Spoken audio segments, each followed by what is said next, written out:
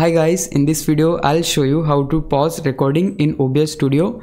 If this video helps you, please consider subscribing my YouTube channel and liking the video. So there are actually three ways which you can try to solve this problem. So first way is pretty easy.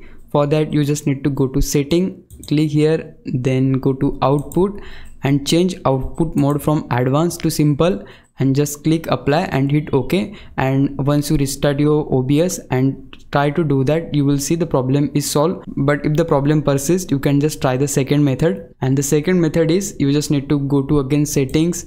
Here you will find the option for hotkeys. Click here and now here we have two options like set the shortcut key for pause recording and set the shortcut key for unpause recording. So whichever key you don't use you can just set that for pause and unpause. So suppose i don't use the insert key so i'll just press here or set here insert key by pressing insert. And similarly i can set the shortcut key for unpause.